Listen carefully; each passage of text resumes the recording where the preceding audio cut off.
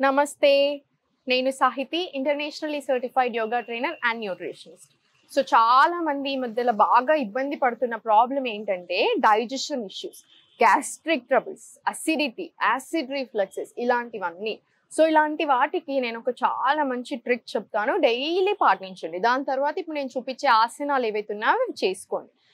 Excellent tips ఇవి ఎవరికైనా constipation ఇలాంటి అన్ని ప్రాబ్లమ్స్కి పనిచేసేలాగా. సో నైట్ మనకి ఫిగ్ అంటారు. అంజూర అయినా సరే ఫిగ్ అయినా సరే నానబెట్టేసుకోండి వాటర్లో అది మార్నింగ్ లేసాక స్లోగా చూ చేసుకుంటూ తినేసేయండి. సెకండ్ ట్రిక్ వచ్చేసి వామ్ వాటర్ తీసుకోండి. ఒక స్మాల్ గ్లాస్లో తీసుకొని దాంట్లో నెయ్యి ఒక టీ స్పూన్ ఆఫ్ నెయ్యి తీసేసుకొని కలిపేసుకొని స్లోలీ మళ్ళీ ఆసన పొజిషన్లో కూర్చొని slowly sip by sip sip by sip తాగేసేయండి. Third trick వచ్చేసి వాకింగ్ అంటారు. వాకింగ్ అంటే నార్మల్గా అలా కాకుండా ఏం చూడకుండా ఫోన్స్ నథింగ్ ఓన్లీ మీ మీద మీరు కాన్సన్ట్రేట్ చేసుకుని పొట్ట మీద దృష్టి పెట్టి ఇవి రెండు అయిపోయాక ఒక ఫైవ్ మినిట్స్ అలా తిరిగేసే తిరిగేసి వచ్చాక ఇప్పుడు నేను చూపించే ఆసనాలు చేసుకోవాలి. సో ఎలా చేసుకోవాలి? సో మనం ఇప్పుడు చూద్దాం. యాసిడిటీకి సంబంధించినవి కాన్స్టిపేషన్ యాసిడ్ రిఫ్లెక్సెస్ అన్నిటికీ ఇప్పుడు నేను మీకు చూపిస్తాను సో అన్నిటికంటే ఇంపార్టెంట్ ఇది. కంపల్సరీ గుర్తు పెట్టేసుకోండి ఈ విషయం నేను మళ్ళీ రిపీట్ చేసి నా చేసుకోకపోయినా మైండ్లో పెట్టేసుకోండి. గట్ సరిగ్గా లేకపోయినప్పుడే ఈ ప్రాబ్లమ్స్ అన్నీ స్టార్ట్ అవుతాయి. సో ఫస్ట్ గట్ కరెక్ట్ చేసుకోవాలి. గట్ క్లెన్జింగ్ అనేది చాలా ఇంపార్టెంట్ గట్ని కరెక్ట్గా చేసుకుంటే ఆటోమేటిక్గా ఇప్పుడు నేను ఏవైతే ప్రాబ్లమ్స్ చెప్పానో ఇంకో పది సమస్యలైనా సరే డైజెషన్కి సంబంధించిన అన్ని ప్రాబ్లమ్స్ దూరం అయిపోతాయి హండ్రెడ్ పర్సెంట్ సో గట్ మీద వర్క్ చేసుకోండి. ఇప్పుడు నేను గట్కి చూపిస్తాను ఎక్సర్సైజ్ అన్నిటికీ సరిపోయేలాంటి ఎక్సర్సైజెస్ చూపిస్తాను. సో ఇవి ఇప్పుడు నేను మీకు చెప్పిన చిట్కాలు ఏవైతే ఉన్నాయో ఆ టిప్స్ కూడా చాలా బాగా పనిచేస్తుంది గట్ హీలింగ్కి సో ఫుడ్ ఎలాంటి తినాలి గట్కి అనేది మనం ఎండ్ ఆఫ్ ద వీడియోలో మాట్లాడుకున్నాం ఇప్పుడు ఎక్సర్సైజెస్ చూసేద్దాం. సో ఇలా కూర్చున్న దగ్గరే ఇలా స్లోలీ ఇలా వజ్రాసనాలో కూర్చోండి. తిన్న వెంటనే కూడా వజ్రాసనాలో కూర్చోండి. తిన్న వెంటనే ఇంకా తినేసాక మీరు ఒకే ఒక్క ఆసనం చేయొచ్చు తినగానే. అది వజ్రాసనం. తిన్న వెంటనే ఇలా కూర్చొని ఒక టెన్ మినిట్స్ కూర్చోగలితే టెన్ మినిట్స్ కూర్చోండి. మీరు ఇంకా కూర్చోలేను అని అనిపించేదాకా ఈ పొజిషన్లో కూర్చొని ఉండండి. ఈ పొజిషన్లో కూర్చొని స్లోలీ ఇది ఇప్పుడు వచ్చేసి బయటకి ఇప్పుడు నేను చూపించేటి ఇదంతా గ్యాస్ట్రిక్ ట్రబుల్స్కి డైజెషన్ కాన్స్టిపేషన్ అన్నిటికి కలిపి ఈ రెండు కాళ్ళని ఇలా దగ్గర తెచ్చేసుకొని ఇలా రెండు హక్ చేసేసుకోండి. మన పొట్ట ఏదైతే ఉందో దీనికి తొడలకి అప్పర్ థైస్కి ఆనేలాగా చూడండి. ఇలా హక్ చేసేసుకొని స్పైన్ స్ట్రైట్ పెట్టేసుకొని ఇలా. Inhale exhale up again inhale centre exhale down ఇలా. ఫైవ్ టైమ్స్ అప్ చేసుకోండి ఫైవ్ టైమ్స్ డౌన్ చేసుకోండి. ఇన్హలేషన్ ఎక్సలేషన్ అస్సలు మర్చిపోకూడదు. ఇప్పుడు స్లోలీ అది అయిపోయాక స్లోలీ ఇప్పుడు మొత్తం రెండు కాళ్ళు ఇలా స్ట్రైట్ చేసేసుకొని ఇంటర్లాక్ చేసేసుకోండి. ఇలా ఇంటర్లాక్ చేసుకొని ఇలా పొట్ట మీద ప్రెషర్ పడేలాగా వన్ టూ ఇలా త్రీ ఇలా ఒక టెన్ టైమ్స్ క్లాక్ వైజ్ ఇదే same ten times anti clockwise ఇలా చేసేసుకోండి. ఇలా. ఈ ఎక్సర్సైజ్ చేసుకునే ముందు మనం ఘీ వాటర్ అయినా సరే ఆ ఫిగ్ అయినా సరే తినేసేయండి. తినేసాక ఇవన్నీ చేసుకోండి.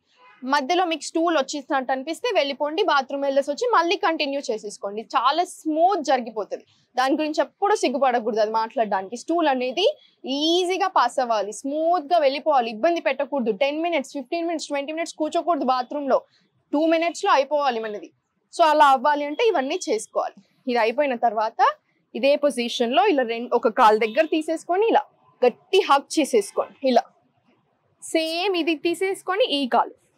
గట్టిగా ఇలా హక్ చేసుకొని same five to ten seconds ఉండండి. ఇటు సైడ్ ఒక టెన్ సెకండ్స్ ఇటు సైడ్ ఒక టెన్ సెకండ్స్ అలా ఫైవ్ టైమ్స్ రిపీట్ చేసుకున్న తర్వాత ఈ కాల్ ఇలా పెట్టేసుకోండి లేదా ఇలా అయినా పెట్టుకోవచ్చు. మీకు ఎలా కంఫర్టబుల్ ఉంటే అలా పెట్టేసుకొని ఇలా రెండు చేతులు ఇలా పెట్టేసుకొని వన్ టూ ఇలా త్రీ ఫోర్ ఇలా.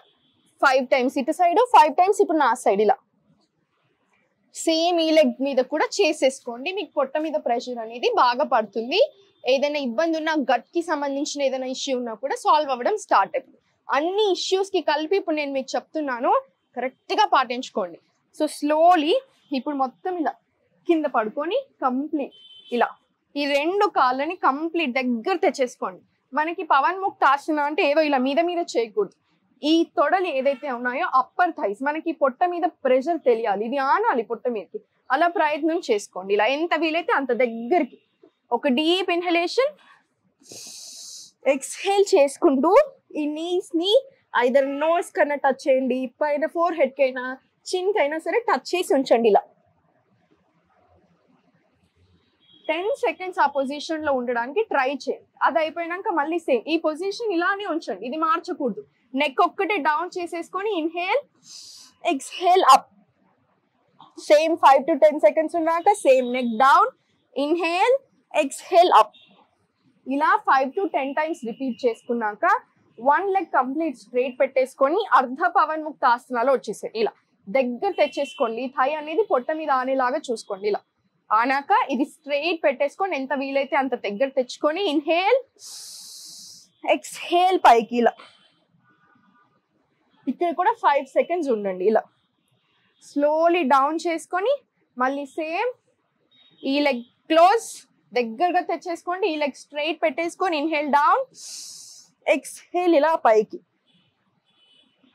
సేమ్ ఫైవ్ సెకండ్స్ ఈ పొజిషన్లో ఉన్నాక స్లోలీ కంప్లీట్ రిలాక్స్ ఈ రిలాక్సేషన్ ఇది కూడా five times to ten times repeat చేసుకోండి. చాలా అంటే చాలా మంచిది. ఎక్సెస్ గ్యాస్ ఉన్న అసిడిటీ ఉన్నా కూడా పోతుంది. ఇదంతా అయిపోయాక స్లోలీ ఇలా సైడ్కి తిరిగి ఇలా ఫ్రంట్లో మనకి పొట్ట కింద ఆనేలాగా ఇలా పనుకోండి. ఇలా చిన్ని ఇక్కడ ఇలా పెట్టేసుకొని వన్ టూ త్రీ ఫోర్ నవ్వుతూ ఉండండి. ఆటోమేటిక్గా బాగా జరుగుతుంది. ఇంకా మార్నింగ్ మంచి ఎనర్జీ ఉంటుంది కదా ఆ స్మైల్ అనేది ఒక బ్రైట్నెస్ని తీసుకుని వస్తుంది. నేను మీకు ఒకసారి రీజన్ చెప్తాను. ఎందుకు నవ్వుతూ ఉండాలి? ఎందుకు మనకి మైండ్ తోటి మన బాడీ తోటి రిలేషన్ అనేది ఒకసారి మాట్లాడుకుందాం మనం. స్లోలీ ఇప్పుడు ఈ పొజిషన్ అయిపోయాక ఇలా పైకి ఇలా ఉండండి. మళ్ళీ స్లోలీ కంప్లీట్ రిలాక్స్ అయిపోయి మళ్ళీ కాసేపు ఈ పొజిషన్లో ఉండండి. ఈ పొజిషన్లో ఒక టెన్ సెకండ్స్ ఉండడానికి ప్రయత్నం చేయండి. అన్ని ఆసనాలు అయిపోయాక లాస్ట్కి ఆసన పెట్టుకోండి. ఆసన పెట్టేసుకొని ఇక్కడ ఒక వన్ మినిట్ పడుకోవాలనిపిస్తే వన్ మినిట్ కూడా ఇదే పొజిషన్లో ఉండండి. ఎక్సెస్ అసిడిటీ గ్యాస్ ప్రాబ్లమ్స్ ఏదైనా ఉన్నా కూడా వెళ్ళిపోతాయి.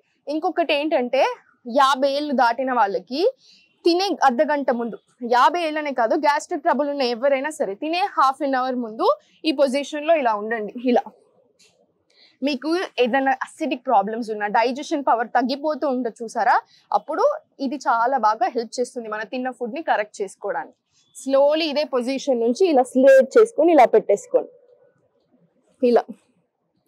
స్లోలీ ఇలా సైడ్కి తిరిగి స్లోలీ లేచి కూర్చోండి. ఇలా. వజ్రాసనాలో కూర్చోండి. వజ్రాసనాలో కూర్చుంటేనే మనకి మంచిది. సో వజ్రాసనాలో ఎంతసేపు వీలైతే అంతసేపు కూర్చోండి. ఇంకొక టిప్ వచ్చేసి కూర్చునేటప్పుడు తినేటప్పుడు ఎలా కూర్చోవాలి? సుఖాసనాలో కూర్చొని ప్లేట్ అనేది ఇలా కిందన పెట్టుకోండి ఇక్కడ చిన్న స్టూల్ లాగేసుకొని ఇక్కడ ప్లేట్ పెట్టేసుకోండి. దానికి ఒక రీజన్ ఉంది. మనం అప్పుడు అందుకే అలానే తినేవాళ్ళం. అందుకే అప్పట్లో డైజెషన్ ఇష్యూస్ ఇప్పుడు ఉన్నంత లేవు. తినేప్పుడే స్టార్ట్ అయిపోయింది మనకి డైజెషన్ మెటబాలిజం అనేది. ఇప్పుడు అది లేదు. కూర్చొని తింటాము టీవీ చూసుకుంటే ఇలా కూర్చొని తింటాం. ఓ చెయ్యి అక్కడ ఉంటుంది తినేది ఇలా ఉంటుంది. డైజెషన్ ఎలా అవుతుంది? సెకండ్ ట్రిక్ ఇంకొక ట్రిక్. ఇక్కడ నుంచి స్టార్ట్ అవుతుంది డైజెషన్. ఇక్కడ స్టార్ట్ అవ్వదు. అది తెలుసుకోండి. చూయింగ్ అనేది చాలా ఇంపార్టెంట్. ఏదైనా తింటున్నా బాగా నమ్మిలేసేయండి నమ్మిలేసి వాటర్ లాగా అయ్యాక తినండి. దానివల్ల ఏమవుతుంది? డైజెషన్ అనేది చాలా ఈజీ అయిపోతుంది బాడీకి. అండ్ తక్కువ తింటాం మనం. ఎంతైతే తింటున్నామో అంత తినము. థర్డ్ ట్రిక్ వచ్చేసి టీవీ చూసుకుంటూ స్క్రీన్స్ చూసుకుంటూ తింటే ఎంత తింటున్నాం అనేది అస్సలు ఐడియా ఉండదు. బాడీకి తెలీదు మీ మైండ్కి తెలీదు. ఏం లేకుండా సుఖాసనాలు కూర్చొని ముందు మీ ప్లేట్ పెట్టేసుకొని తినేసేయండి ఆటోమేటికలీ ఈ ప్రాబ్లమ్స్ అన్ని సాల్వ్ అవ్వకపోతే వన్ మంత్లో అప్పుడు నన్ను అడగండి. మీరు స్లోగా స్టార్ట్ అవ్వడం స్టార్ట్ అయిపోతుంది. హండ్రెడ్ పర్సెంట్ అది. సో ఇవన్నీ కరెక్ట్గా చేసుకోండి. ఎందుకు సాల్వ్ అవ్వదో మనం చూద్దాం. స్ట్రెస్ తక్కువ చేసుకోండి. వాటర్ బాగా తాగండి. హైడ్రేషన్ ఉంచుకోండి.